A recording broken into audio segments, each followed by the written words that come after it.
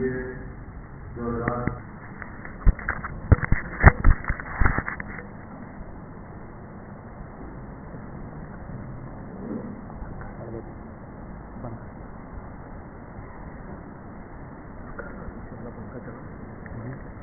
Stand fan چلانا اور نہیں۔ ٹھنڈا الحمد لله الحمد لله وكفى. وسلام على عباده الذين اصطفى. خصوصا على أفضلهم وخاتم النبيين. محمد الأمين.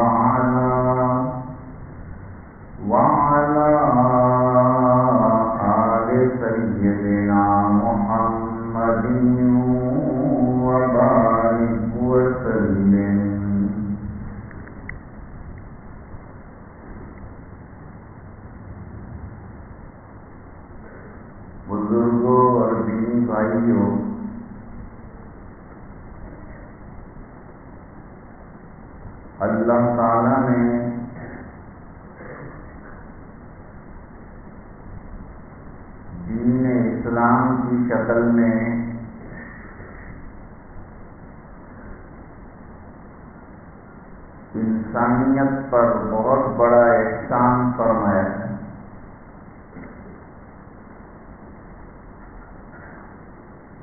یہ دین بہت بڑی نعمت ہے۔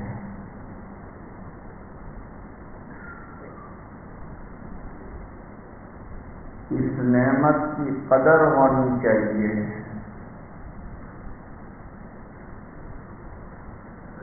زندگی کے بعد دین کا ملنا، یہ بہت بڑا اللہ کا انعام ہے۔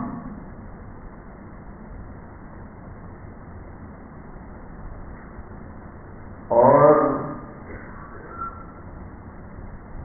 دین بھی کیسا کہ جو نہایت مکمل ترین ہے اور حکیم ترین ہے۔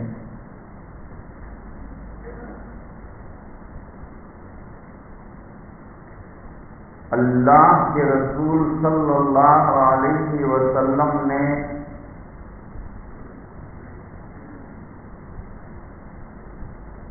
پوری زندگی جینے کا طریقہ بتا دیا۔ عبادات، معاملات، اخلاق، معیشت، معاشرت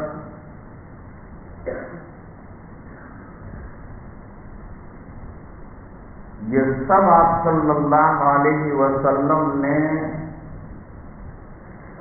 صحابہ کرام کو اور پوری دنیا کو سکھا دیے ہیں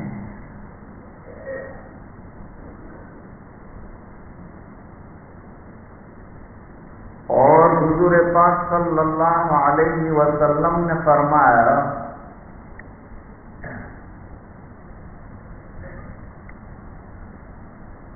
کہ میں نے تمہیں جو نعمت دی ہے، یہ نعمت لے کر بیٹھے مت رہو، بلکہ یہ نعمت دوسروں تک پہنچاؤ۔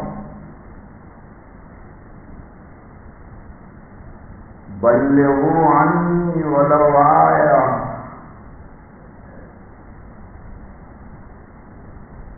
میری طرف سے ایک آیت اور اس کا علم تم تک اگر پہنچا ہو تو تمہاری ذمہ داری ہے کہ اس نعمت کو دوسروں تک پہنچاؤ۔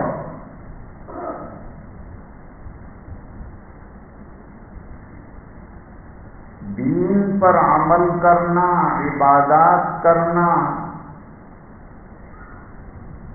یہ سب بڑی خوبی اور بڑے حسن کی بات ہے۔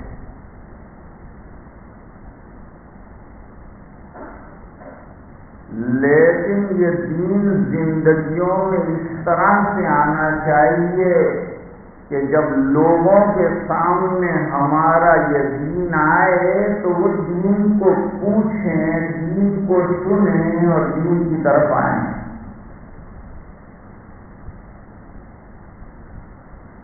ان کو دین کی طرف متوجہ کرنا، دین کی طرف لانا، دین کی دعوت دینا یہ ہر مسلمان کی ذمہ داری ہے۔ اللہ رب العزت قرآن کریم میں فرماتے ہیں، ادعو اس میں یہ نہیں فرمایا کہ کون دعوت دے۔ بلاؤ لوگوں کو بلاؤ۔ دین کی طرف بلاؤ، سبیل رب کی طرف بلاؤ۔ کون بلائے؟ فرمایا سب بلائیں۔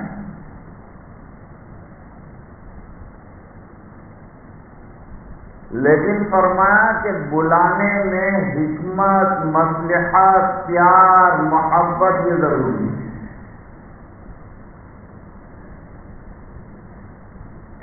انبیاء کرام کو اللہ تعالیٰ نے حکمتیں دی ہوتی ہیں، وہ حکمت کی روشنی میں کام کرتے ہیں۔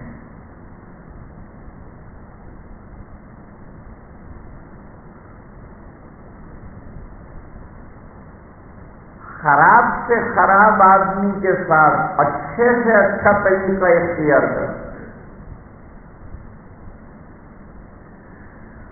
بد اخلاق سے بد اخلاق آدمی کے ساتھ خوش اخلاقی سے پیشہ دین تو اخلاق کا نام ہے۔ دین تو خدمت خلق کا نام ہے، طریقت خدمت خلق کا نام ہے۔ تصوف کے نام پر جو چیز نکلی ہے، وہ تصوف کیا ہے؟ اخلاق کا نام ہے۔ طریقت بجن خدمت خلق میں بتصوی و سجا گو دل میں طریقت کیا ہے لوگوں کی خدمت کرنے کا نام؟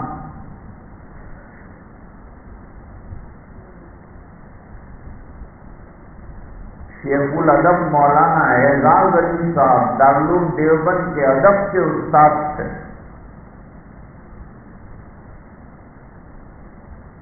ایک مرتبہ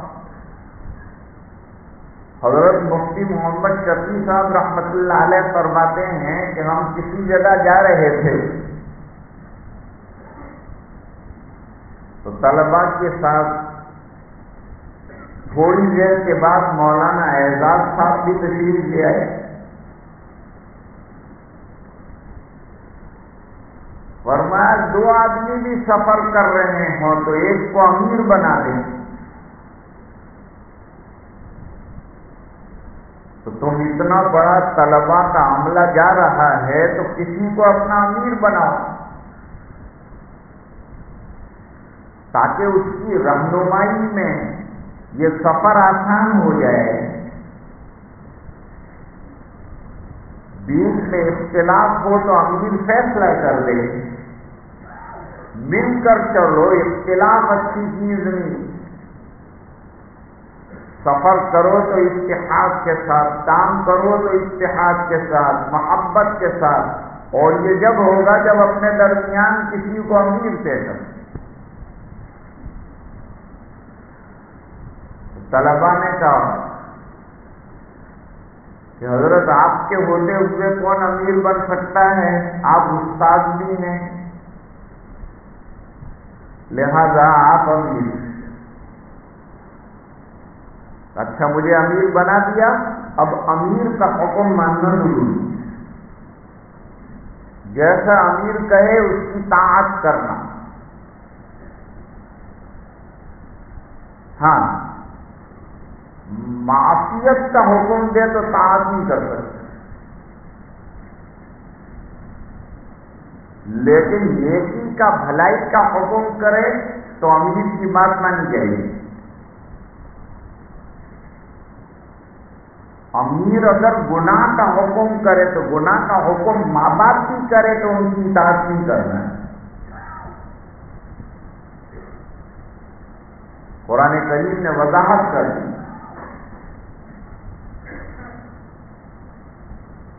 تو کہا اب تم کو میری بات ماننی پڑے گی کہا جی حضرت بالکل مانیں گے۔ تھوڑی دیر کے بعد اسٹیشن پر ٹرین آ گئی۔ حضرت نے سب طلبا کا سامان اٹھایا اور ایک ایک کر کے سامان جو ہے ٹرین میں رکھنے لگے۔ ارے حضرت، آپ یہ کیا کر رہے ہیں؟ اور میں میں امیر ہوں، میرا حکم ماننا پڑے گا۔ سب لین سے کھڑے رہو اور جو میں کرتا ہوں وہ کرنے دو۔ سید القوم خادم. امیر تو خادم ہوتا ہے. اور آدمی جب اپنے آپ کو خادم سمجھ لے گا تو اس کے اندر سے غرور ختم ہو جائے گا. تکبر ختم ہو جائے گا. بڑائی ختم کہ میں تو خادم ہوں. خادم کا کام خدمت کرنا ہے.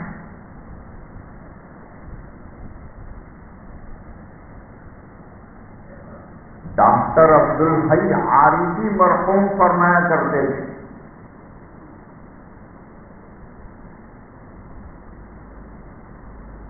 کہ میں نے اپنے آپ کو امت کا خادم سمجھ لیا ہے۔ میں سب کا خادم ہوں، بڑوں کا، چھوٹوں کا، بیوی کا، بچوں کا۔ اللہ نے میرے دل میں خدمت شکر فرمائی ہے۔ تو مجھے یہ خدمت انجام دینے کا غصہ نہیں آئے گا اگر ماتحت کوئی غلط کام بھی کرے گا تو اسلام محبت سے کریں گے، لیکن غصہ نہیں کریں گے۔ میں خادم ہوں، خادم کیسے غصہ کر سکتا؟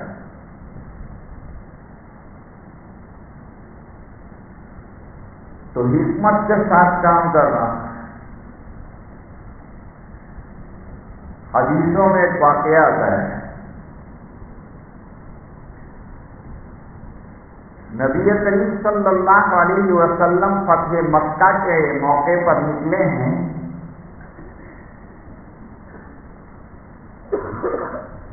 جب باہر نکلے، نماز کا وقت آیا، تو مومن کے نزدیک تو نماز کا وقت ایسا عام ہے کہ اس وقت اس عمل کے علاوہ کوئی دوسرا عمل نہیں کرنا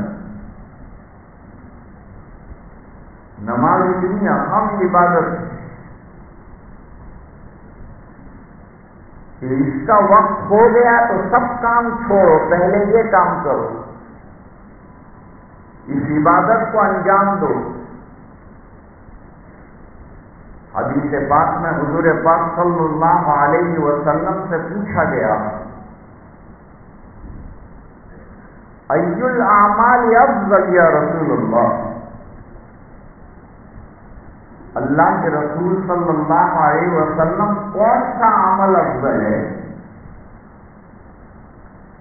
نبی کریم صلی اللہ علیہ وسلم نے فرمایا السلام والا وقت وقت پر نماز پڑھ لینا سب سے اہم اور بہترین کام ہے۔ گھر میں ماں بہنوں کو بھی وقت پر نماز ادا کرنا اور مردوں کو بھی دوڑ کر جو ہے مسجد کی راہ اختیار کرنا، اذان کے بعد اور کوئی کام نہیں، صرف نماز۔ ہمارے بزرگ تھے، ان کو نماز کے وقت بے چینی سے مسجد جاتا ہوا دیکھ کر ایک انگریز نے اسلام قبول کیا۔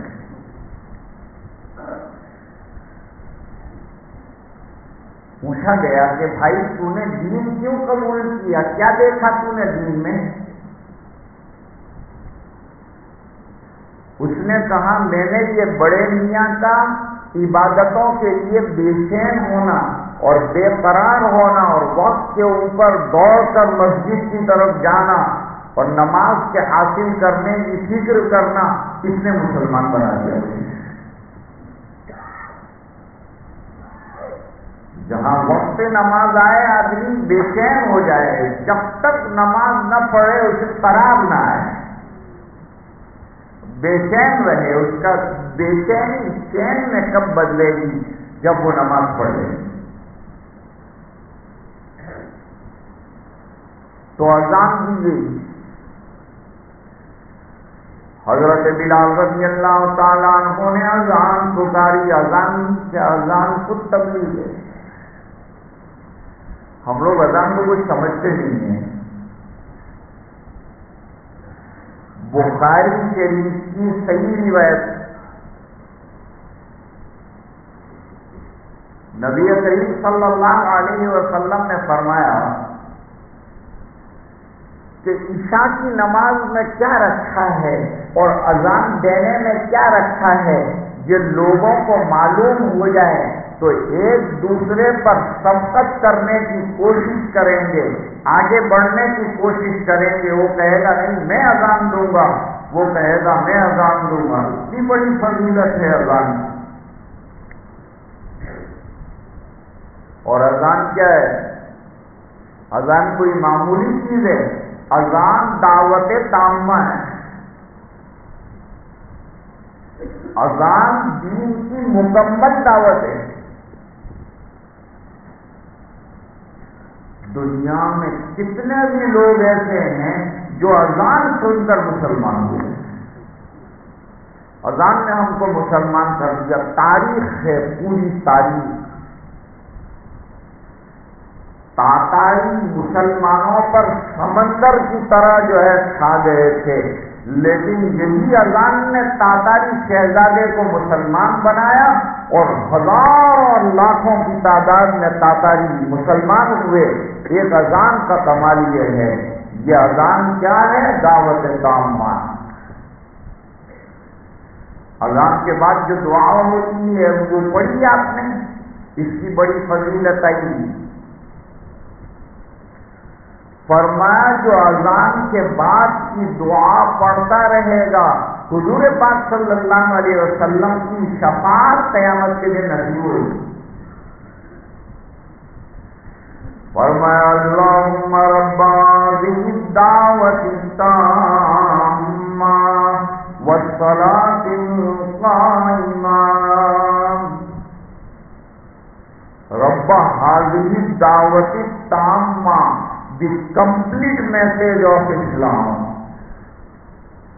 مکمل پیغام ہے۔ اور یہ دین کی خوبی مولانا اقبال صاحب یہ ہے کہ اور ابھیان کے اندر بھی میسج تو بہت ہیں، پیغام تو بہت ہیں پروگرام نہیں ہے ان کے پاس۔ اور یہ دین کا کمال ایسا ہے کہ پیغام دیتے ہیں تو پروگرام بھی بتاتے ہیں۔ یہ دین کا کمال ہے۔ کہ ادھر پیغام دیتے ہیں، ادھر کہتے ہیں، آ جاؤ، پروگرام بھی بتاتے ہیں۔ اذان میں پیغام دیا، مسجد میں آ جاؤ، تم کو پروگرام بھی دیتے ہیں۔ تم کو مکمل زندگی کا پروگرام بتاتے ہیں۔ تمہاری آنکھیں کہاں رہے؟ تمہارے کان کیا سنے تمہاری زبان کیا بولے؟ تمہارے پیر کیا کریں؟ تمہارے ہاتھ کیا کریں؟ تمہارا دماغ کیا کرے؟ تمہارا دن کیسے دڑکے صاف بتائیں گے نماز۔ آ جاؤ، پروگرام آگے ہے، پیغام پہلے۔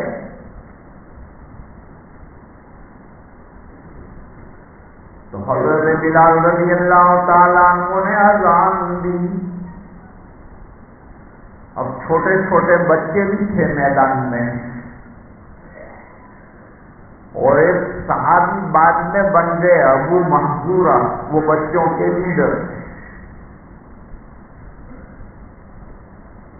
وہ لیڈر ہیں، وہ بھی جہاں حضرت بلال کہتے ہیں، اللہ اکبر اللہ اکبر۔ تو بچے بھی نہ کرتے اللہ اکبر اللہ اکبر۔ وہ بھی نہ پڑھ کر حضور پاک صلی اللہ علیہ وسلم نے اذان کے بعد کہا، بھائی، یہ کیا شور تھا اذان کے وقت؟ کہا، وہ بچے نقل کر رہے تھے، شور کر رہے تھے. سرکار نے پڑھنا پکڑ کے لاؤ ان کو، میرے پاس لاؤ۔ سب چھوٹے باندھ گئے اور وہ چھوٹوں میں بڑے تھے، ابو محضور وہ ہاتھ میں آ گئے۔ ان کو حضور پاک صلی اللہ علیہ وسلم کے سامنے پیش کر دیا۔ یہ کچھ سمجھدار بھی تھے، بات کو سمجھتے بھی تھے۔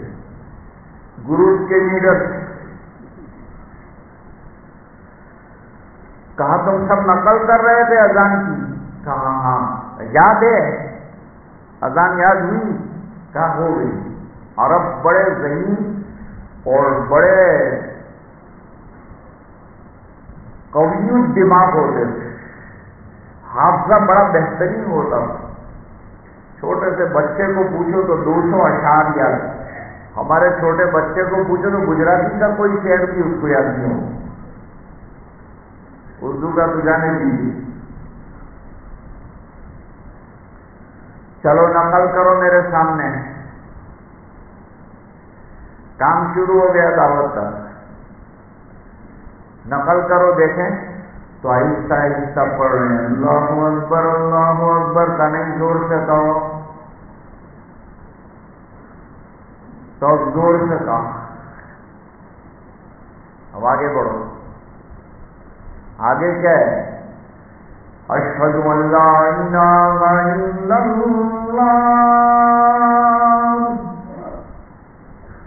آہستہ مت کہو زور سے کہو اب زور سے پڑھا اس میں تو کوئی عرب کو اور کوئی دنیا کے لوگوں کو اختلاف نہیں کہ اس دنیا کا مالک اللہ ہی ہے۔ مشرقی نے مکہ بھی اللہ کو تو مانتے تھے، لیکن اللہ کے ساتھ شریک کرتے تھے۔ ایسوسیشن بنا رکھا تھا۔ انہوں نے اللہ کو تو وہ مانتے ہی ابراہ نے سردارہ نے مکہ کے اونٹ بھی اپنے کنٹرول میں کر لیے تھے جب حملہ کیا۔ اس میں عبد المطلب کے اونٹ بھی قبضے میں لے لیے۔ عبد المطلب سردار کابت اللہ کے متولی بھی جب پتا چلا کہ میرے اونٹ جو ہے قبضے میں لے لیے، تو ابراہ سے ملاقات کے لیے چلے۔ ابراہ نے بڑا استقبال کیا کہ بھائی یہ بڑے لیڈر اور بیت اللہ جس کو گرانے کے لیے میں آیا ہوں، اس کے متولی آئے ہیں۔ تو اب یہ تو اسی کی بات کریں گے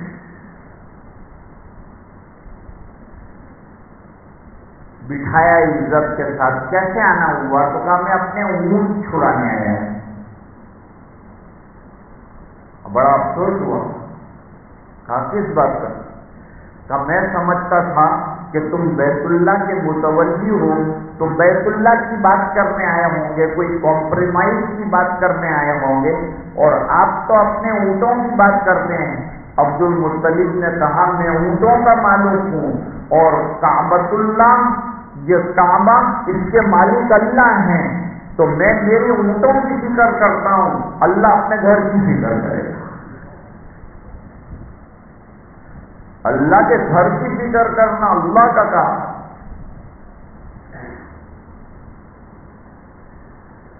جب بابری مسجد شہید کی گئی، تو جنوبی افریقہ کے ایک امیر صاحب تھے۔ معلوم نہیں، آپ میں شاید کوئی جانتا ہوگا، بھائی پاڑیا۔ برہوم بڑا دین کا ولولہ بڑا ذوق علماء سے بڑی محبت۔ آج کل مصیبت یہ ہے کہ ساتھی علماء سے جڑتے نہیں ہیں۔ جب نہیں جڑیں گے تو جانتے ہو اس کا نتیجہ کیا نکلے گا۔ آج کل کے جو فتنے ہیں نا، اس کے چکر میں آ جائیں گے۔ وہ فتنے والے اٹھا کے لے جائیں گے۔ چلے والوں کو بھی لے لے، چار مہینے والوں کو بھی لے لے۔ اور سالوں کے سال لگائے تھے، ان کا دماغ انہوں نے خراب کر کے رکھ دیا۔ کیونکہ علماء سے نہیں جڑے۔ علماء سے جڑ کے چلنا پڑے گا تو آپ کا عقیدہ درست رہے گا، کام بھی صحیح رہے گا۔ مشورے سے چلنا پڑے گا۔ علماء کام کی آنکھیں ہیں۔ اور یاد رکھو کہ الگ مت کرو چیزوں کو کہ یہ ہماری الگ تبلیغ ہے، یہ مدرسے والے ہیں، یہ الگ ہیں، یہ خانقاہ والے ہیں، یہ الگ نہیں ہیں۔ میں مثال سے سمجھا رہا ہوں۔ کوہ نور ایک سیرا ہے۔ جو برطانیہ میں ہے۔ اب وہ کوہ نور سیرا کسی کے ہاتھ میں آ گیا۔ اور زمین پر گر گیا۔ تین ٹکڑے اس کے ہو گئے۔ ایک نے یہ ٹکڑا لیا، دوسرے نے دوسرا لیا، تیسرے نے تیسرا ٹکڑا لے لیا۔ اب ہر ٹکڑے والا دعوت دعویٰ کرتا ہے کہ یہ تو کولی نور میرے پاس وہ کہتا نہیں میرے پاس ہے۔ تیسرا کہتا نہیں میرے پاس ہے۔ ایک سمجھدار آدمی آیا اور انہوں نے کہا، تینوں کے مجموعے کا نام کولی نور ہے۔ تو دین یہ سب مجموعے کا نام ہے۔ خانقاہ بھی ہو، تبلیغ بھی ہو، مدرسہ بھی ہو، یہ سب شعبوں کو جوڑ کے چلنا ہے۔ یہ کوہنور کے تین ٹکڑے ہیں۔ یہ سرکار نے سب کام ایک ساتھ کیا ہے۔ الگ نہیں کیا اس شعبوں کو؟ دیکھیے قرآن کریم کیا کہتا ہے۔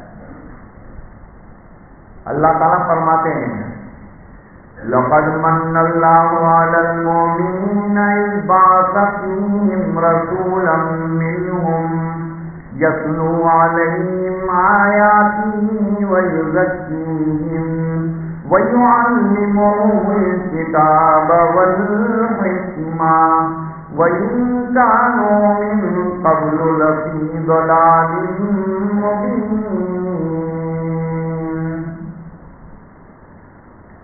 سرکار کے چار مشن اس کے اندر بیان کیے ہیں کہ نبی کو ہم نے بھیجا تو انہوں نے کیا کیا؟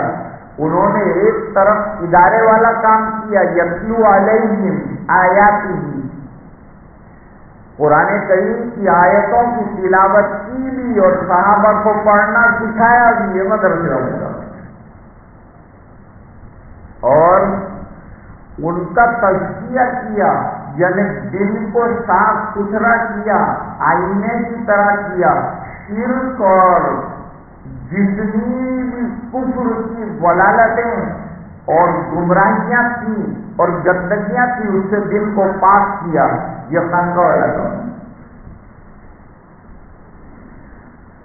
اور وَيُعَلِّمُهُمُ الْكِتَابَ وَالْحِكْمَةَ، اور نبی نے سکھایا کتاب بھی اور احکام بھی۔ ایک نبی نے سب شعبوں میں کام کیا ہے۔ صحابہ سب شعبوں میں کام کرتے تھے۔ دوستوں ہم کو سب شعبوں میں ساتھ دینا ہے۔ ہم کو سب شعبوں میں مل کر کام کرنا ہے، ایک دوسرے کے ساتھ جوڑ کر چلنا ہے، ایک دوسرے کے ساتھ مل کر چلنا ہے۔ الگ راستے مت بناؤ۔ دین ایک ہی ہے دوستوں تو اشہد اللہ الہ الا اللہ تک تو کوئی پرابلم نہیں تھا۔ اب پھر سمجھدار حضور نے فرمایا، آگے پڑھو تو اب شہادت رسالت کی دینے کا موقع ہے۔ تو آہستہ سے تو اشد ان محمد رسول اللہ۔ سرکار نے فرمایا، زور سے کیوں نہیں بولتی سرکار کا روب نبی کریم صلی اللہ علیہ وسلم نے فرمایا، پانچ چیزوں کے ذریعے سے میری مدد کی گئی ہے۔ اس میں ایک چیز ہے اور پانچ خصوصیات کی گئی مجھے۔ ان میں سے ایک روب ہے۔ ایک مہینے کی مسافت پر دشمن کانپتا ہے مجھ سے۔ روب سرکار کا ایسا زبردست روب میں مروب ہیں، ابو محضورہ جوانی کے قریب پہنچے ہیں۔ زور سے محمد رسول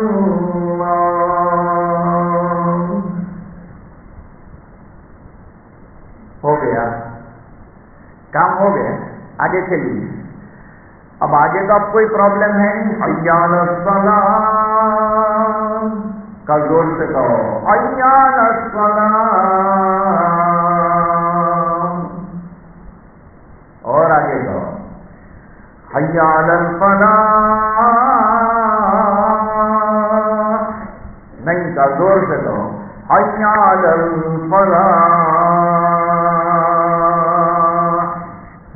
اللہ اکبر اللہ اکبر لا الہ الا اللہ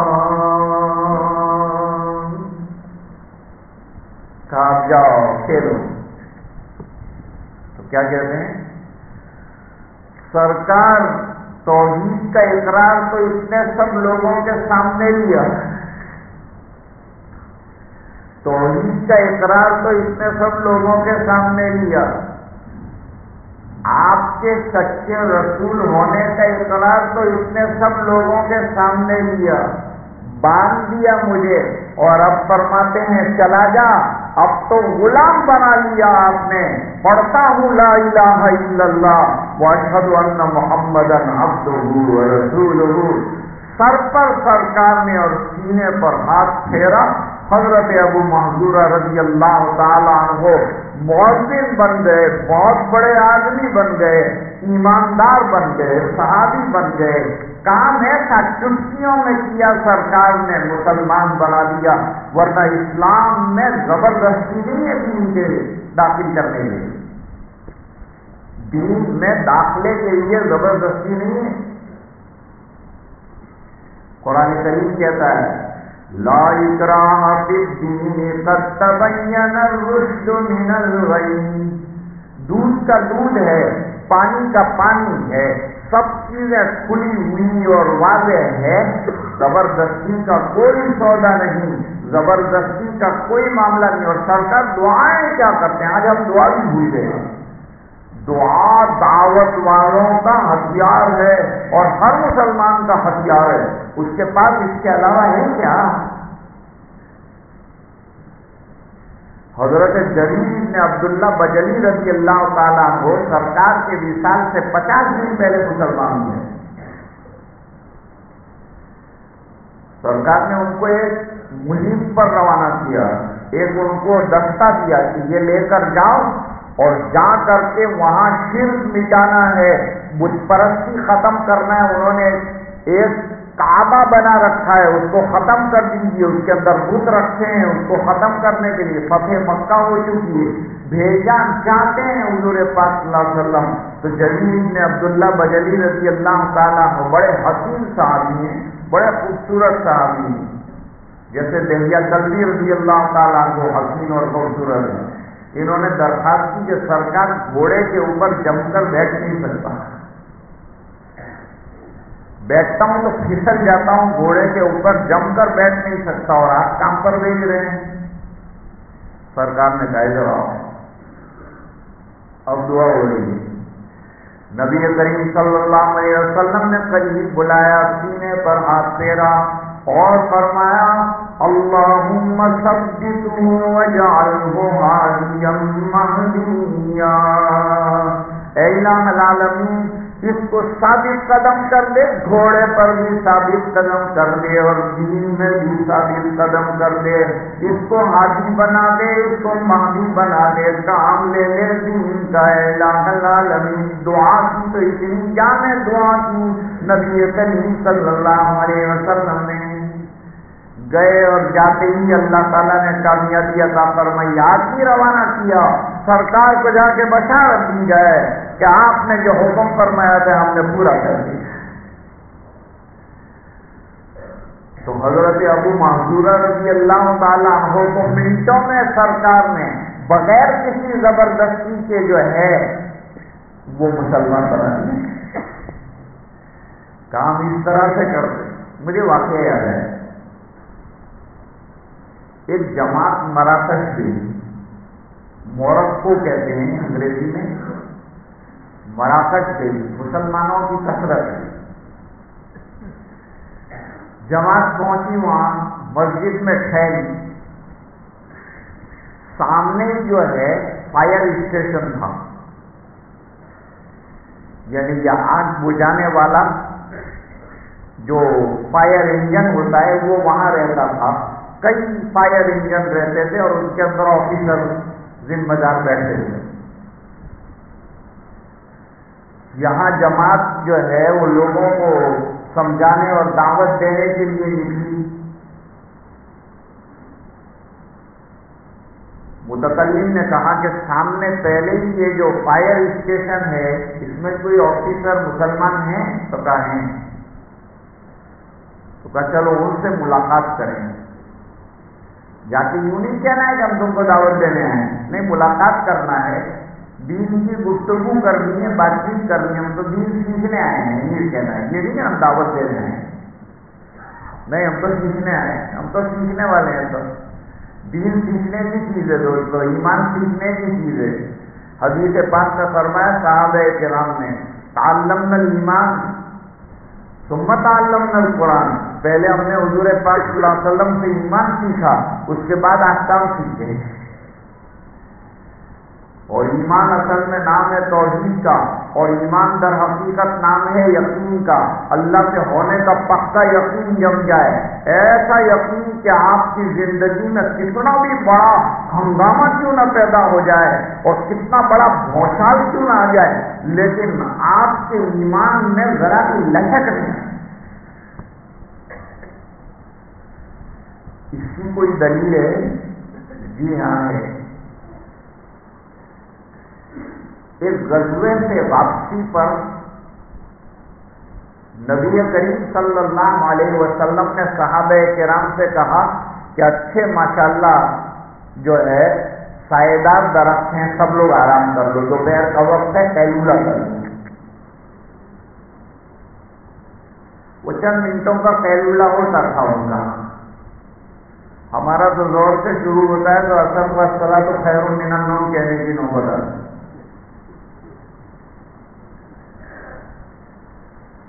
اب جو ہے، سب بکھر گئے ساتھی سرکار کی ایک جگہ جو ہے، آرام فرما ہو گئے اور درخت کی شاخ کے ساتھ تلوار لڑتا ہے۔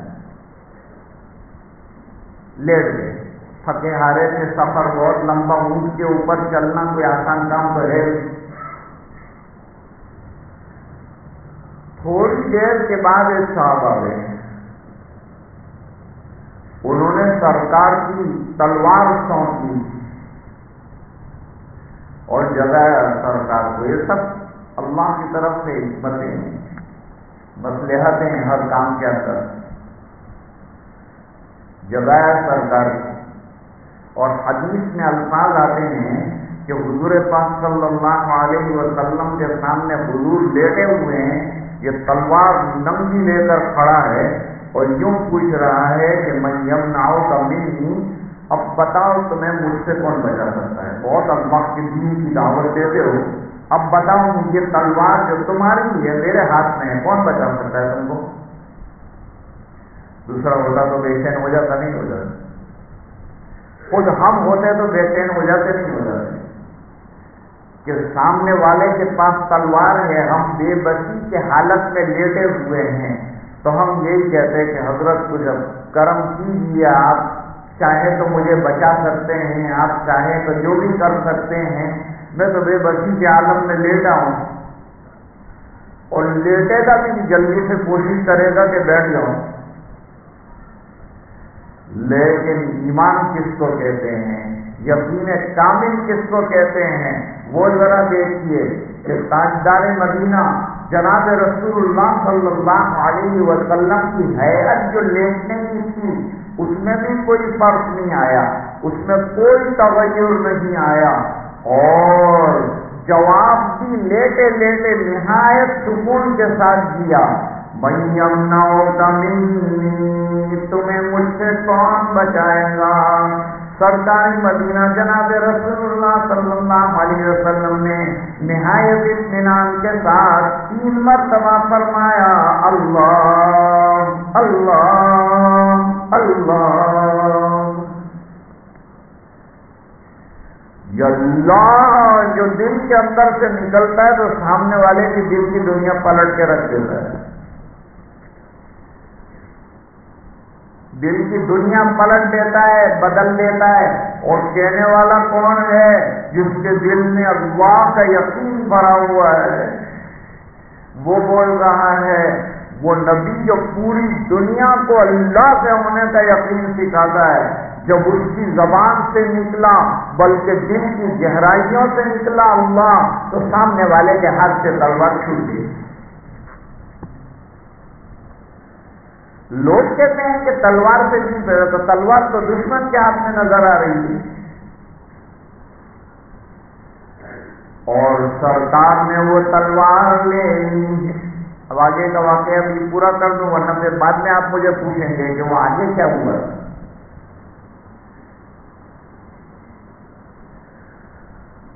حضور پاک صلی اللہ علیہ وسلم نے تلوار لینے کے بعد اب اس سے پوچھا کہ میم نہ ہوگا تو نے سوال کیا تھا میں نے جواب دے دیا، تلوار اللہ نے میرے ہاتھ میں قدرتی طور پر آتا فرما دیا اب یہ بتا تجھے کون بچائے گا؟ تو ہمارے بزرگ جو ہیں، وہ ذرا لطافت کے ساتھ کہتے تھے کہ وہ تین سو ساٹھ بوتوں کا پجاری تھا۔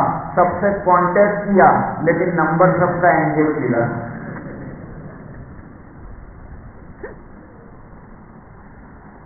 تو کہا حضرت اب آپ بچائیں تو کچھ بچ سکتا ہوں میں۔ آپ بچائیں تو بچ سکتا ہوں۔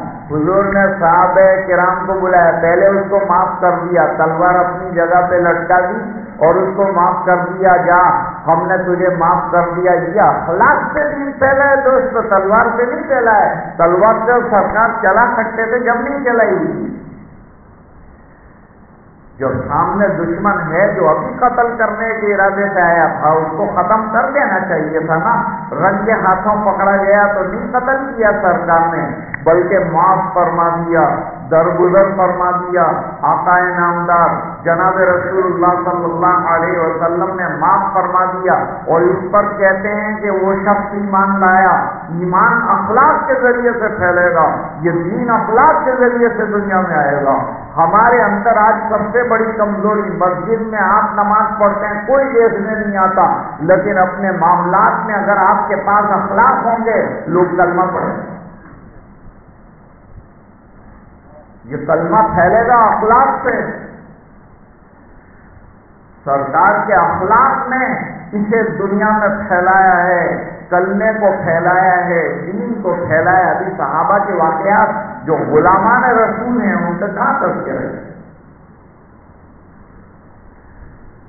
تو سامنے فائر اسٹیشن میں گئے۔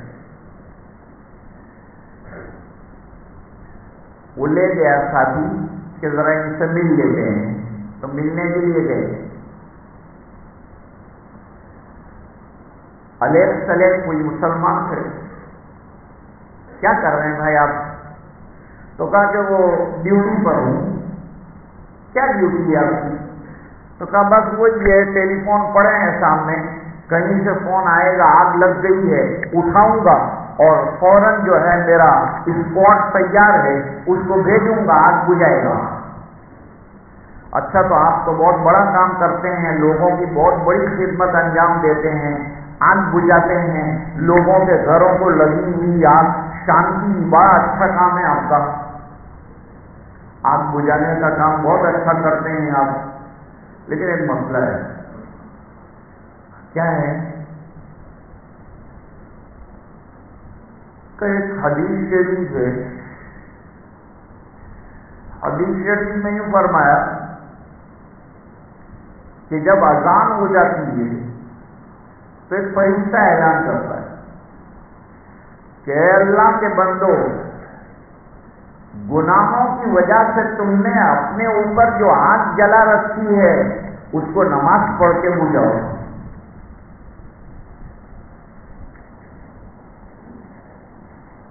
تو آپ اپنی ڈیوٹی میں مصروف ہیں، الحمدللہ، لیکن یہ حدیث شریف کا حضرت کیا کیا جائے؟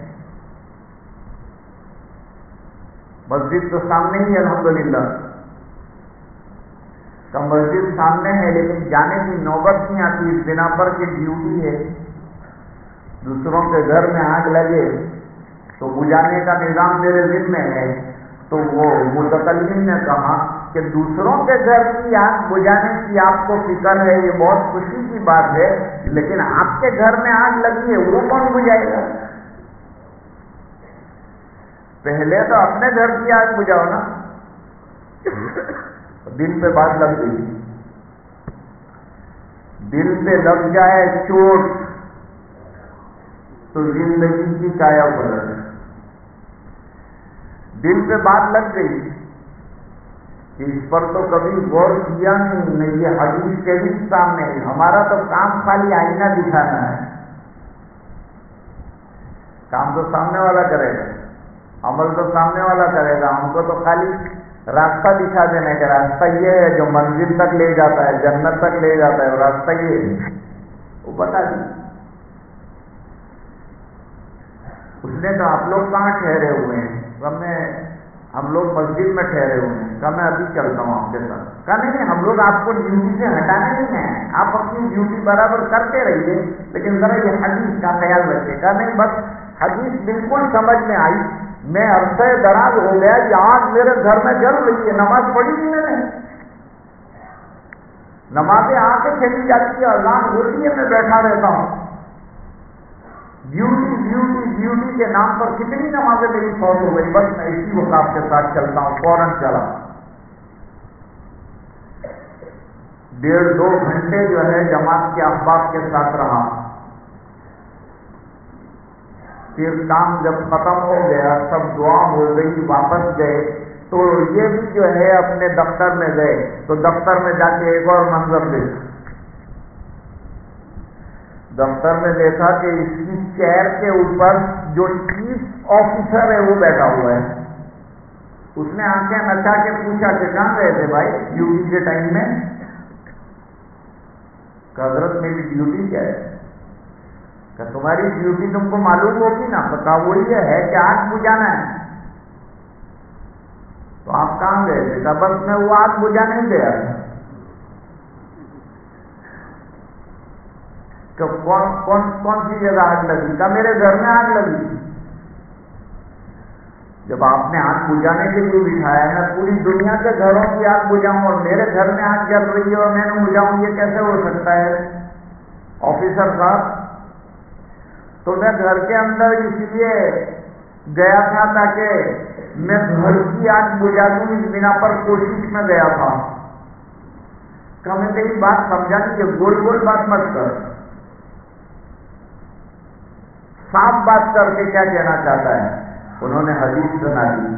جو حدیث جو دعوت کے ساتھی نے سنائی تھی، وہ حدیث کا مضمون جو ہے، وہ سنا دیا۔ اور سنانے کے بعد آفیسر نے کہا، تو اس کا مطلب یہ ہے کہ میرے گھر میں بھی آگ لگی ہوئی ہے، ایک عرصہ دراز سے جس کی بجانے کی میں نے فکر نہیں کی۔ تو چلو میں بھی چلتا ہوں اور تو نے مجھے آج اتنی بڑی آگ کے بارے میں بتایا ہے کہ اس سے پہلے میری آنکھ نہیں کھلی تھی، مجھے اس کا علم نہیں تھا۔ اس بنا پر آج تو نے میرے گھر کے بارے میں لگی ہے، آج یہ بات بتائی تو میں تیرا پرموشن کرتا ہوں اور تیرا درجہ بڑھا کر اونچا کرتا ہوں۔ آدمی کام کرے گا تو اللہ درجے بلند کرے گا۔ کون کہتا ہے کہ دعوت کا کام کریں گے تو بیکار ہو جائیں گے۔ کھائیں گے کہاں سے، پیئیں گے کہاں سے؟ صحابہ کرام کہتے ہیں کہ ہم نے اپنی زندگیاں ایسی لگائی کہ نہ بازار گئے، نہ باغ گئے، نہ کھیت گئے۔ حضرت ابو حریرہ رضی اللہ تعالیٰ کو فرماتے ہیں کہ جب سے آیا اپنے گھر سے قبیلے دوست کے فرد ہیں حضرت ابو حریرہ رضی اللہ تعالیٰ وہ فرماتے ہیں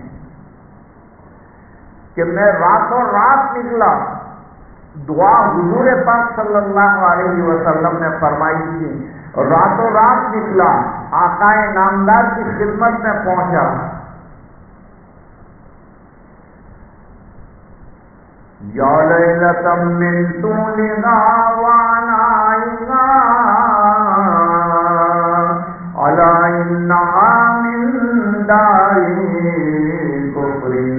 جی ہائے ہائے تنہائیوں کی وہ لمبی رات، لیکن اس نے دی ہے مجھے کفر اور گمراہیوں سے نجات۔ میں چلا تو اپنے غلام کا ہاتھ پکڑ کر چلا۔ اب غلام قیمتی ہوتے تھے، اس زمانے میں بیچے بھی جاتے تھے۔ وہ ایک قیمتی چیز، ایک قیمتی سامان مانا جاتا تھا۔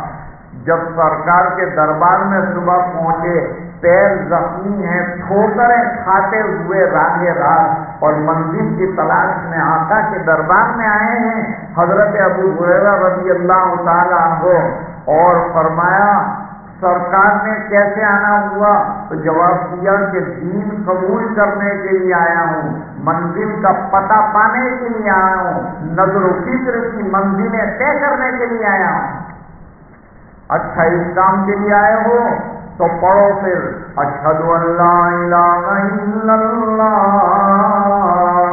اشد محمد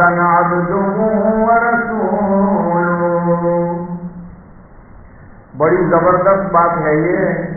یہ خلاصہ ہے دین کا۔ یہ نچوڑ عقائد جو ہے نا، وہ دین کا نچوڑ ہے اور یہ عقیدہ بہت زبردست عقیدہ ہے۔ ایک طرف توحید کی شہادت دینا، دوسری طرف جناب رسول اللہ صلی اللہ علیہ وسلم کو اللہ کا رسول اس کا بندہ اور آخری اور خاتم النبی ماننا۔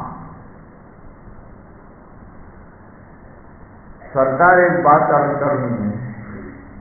وہ کیا بات ہے؟ کا بات یہ ہے سرکار کہ میں رات کو ایک غلام لے کے چلا تھا، اندھیرے میں وہ غلام ہاتھ چھڑا کر بھاگ گیا۔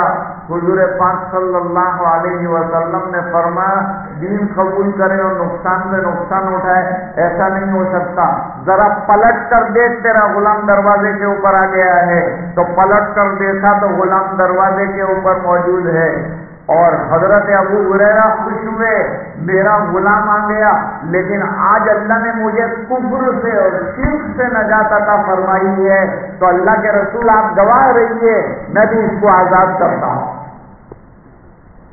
اس کو آزاد کر دیا، تو لوگ اعتراض کرتے تھے، حضرت ابو بریرا کو پانچ ہزار تین سو چوہتر روایتیں کہاں سے یاد ہو گئی جبکہ ان کو بہت کم وقت ملا ہے۔ یہ غزوہ خیبر کے بعد مسلمان ہوئے اور اتنی حدیثیں پانچ ہزار سے زیادہ کیسے یاد ہو گئی انہوں نے کہا، بھوکا رہتا تھا، پیاسا رہتا تھا دین میرا مقصد تھا، سرکار کے ارشادات میرا مقصد تھے۔ اس کے علاوہ میں نے کچھ نہیں جانا، اس کے علاوہ میں نے کچھ نہیں کیا۔ میں بازار بھی نہیں گیا تاکہ وہاں کاروبار کرتا۔ میں کسی کے باغ میں جا کے ملازم بھی نہیں رہا کہ کچھ کام کرتا۔ میں نے کوئی مزدوری بھی نہیں کی۔ بس میں تو سرکار کے ارشادات اپنے دل کے اندر نوٹ کرتا رہا، نقل کرتا رہا۔ اور پورا زمانہ اسی طرح سے میرا بھوک پیاس کے عالم میں گزرتا تھا۔ اس لیے اللہ نے اتنا دین عطا فرمایا، اتنی احادیث سے مبارکہ یاد ہو گئی، ایسا فقر و فاقہ دین کے لیے ایسی شدت کی محنت، بے ہوش ہو جاتے تھے فقر و فاقہ کے عالم میں۔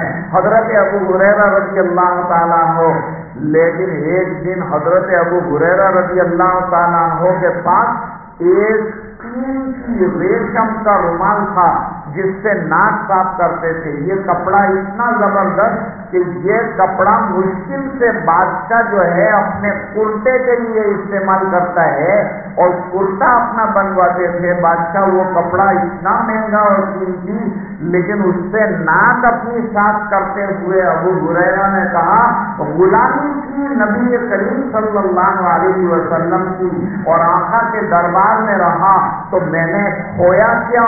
اللہ نے مجھے حاکم بھی بنا دیا۔ اللہ نے مجھے گورنر بھی بنا دیا اور فخر و فاقہ اس زمانے میں کیا۔ انعام دین کا یہ ملا کہ جس کپڑے کے لیے بادشاہ ترستا ہے، ابو بریرا اس سے ناپان کرتا ہے۔ تو دوستو، یہ دین جو ہے، حکمت کے ساتھ، کتنی حکمت کے ساتھ انہوں نے جو ہے، مراکش والوں نے سمجھایا اور سمجھانے کے بعد بات کہاں سے کہاں تک پہنچی مجھے ایک واقعہ یاد آیا۔ ایک غیر مسلم کا گیریج تھا۔ قبرستان کے پڑوس میں ناچیں آتی تھی جنازے آتے تھے، وہ دیکھتا رہتا تھا، کبھی دور سے دیکھتا تھا۔ جنازہ دفن کیا جا رہا ہے، مسجد کو دفن کیا جا رہا ہے۔ اثر پڑتا ہے نا آدمی جنازے کو دیکھتا ہے۔ حضور پاک صلی اللہ علیہ وسلم یہودی کے جنازے کو دیکھ کر کھڑے ہو گئے۔ لوگوں نے کہا کہ یہودی کا جنازہ ہے۔ حضور نے فرمایا، انسان تو تھا اور اس کو جو چیز پیش آئی ہے، وہ بڑی خطرناک موت ہے جو سب کو پیش آنا ہے۔ اس کی گھبراہٹ ہوتی۔